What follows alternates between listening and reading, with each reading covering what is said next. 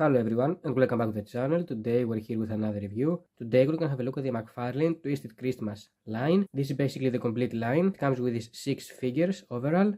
We have right here down as you can see Santa Claus, Mrs. Claus, Santa's little helpers, basically the elves, which are imps right here as you can see, Reindeer Rudy, Mr. Snowman and Jack Frost figures. Each one of these figures will get a separate review, so let's start. Here we have Mrs. Claus. It comes in this nice box. Here it says Mrs. Claus. This is the behind part of the box. You can see some other figures of the line, and it also says some cool things about Mrs. Claus. So let's waste no time and open the box. It comes in basically in three different pieces right here. We assemble them, so let's open the box and see what we get. So here we have it outside of the box. It comes in these three pieces. One piece is this right here, it's the imp or the Santa helper, however you wanna call it. It comes inside this box, really nicely done. It says do not open until Xmas, and apparently has this hole right here, the same as this guy has a hole on his hole. And when you place it right here, you put it on this peg, like this. So you adjust it somehow like this and it stands perfectly.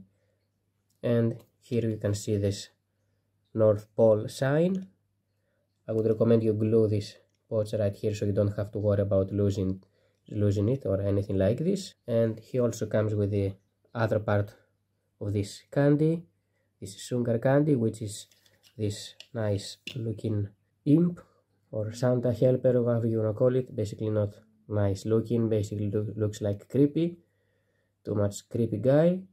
So, and here has this ghee I don't know how it's called but yeah it looks really interesting I would say hanging from this candy and probably admiring Mrs. Claus let's put it right here. Everything is just looks fine on this one right here. Basically it's like something like a, a statue. You can't really do a lot things with it. You can move this uh, her leg like that a little bit. I don't know why. And you can also take her uh, foot out of this peg for some reason but I don't think that you can do too much moves with her because her body is all just one part so I don't, don't think that there is point of doing it. Here is her face, I think she looks gorgeous as far as the face goes.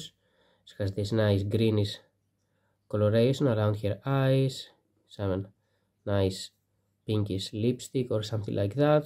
She wears this cool Santa Claus hoodie or beanie yeah. Basically it's like a, a pole dancer. Like a i don't know how to say properly you know? I mean mrs Claus uh, you know what i'm saying? And the cool thing is that you know she's dance she's making she's pretending to be a pole dancer i believe. And she has this north pole right here which is kind of ironic maybe it's a club that she is uh, let's assume let's assume that it's a club that she's dancing but yeah overall I think this playset looks really nice from McFarlane so yeah everything is really nicely done on this one. Yeah the statue is very well done. And this scale right here you can move it up and down even though there is no reason to do so. Because you can't move it out of the body of the figure anyway so I think it would be better if they just had it glue somehow like this so you don't have to move it up and down all the time so anyway this is Mrs. Claus I like these two imps also right there but yeah I think this one looks really pretty and it's really nice as a statue you can use it for some Christmas decoration on your house.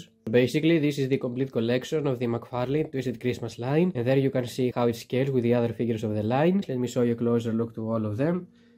Here we have Mrs. Claus, Santa's Little Helpers, the Santa Claus, the Reindeer Rudy, Jack Frost, and the Snowman figure. These three right here are my most favorite figures of this line. So this was guys the McFarlane Twisted Christmas Mrs. Claus figure. Thank you for watching the video. Hope you enjoyed it and I helped you out. I'm gonna see you next time. Bye.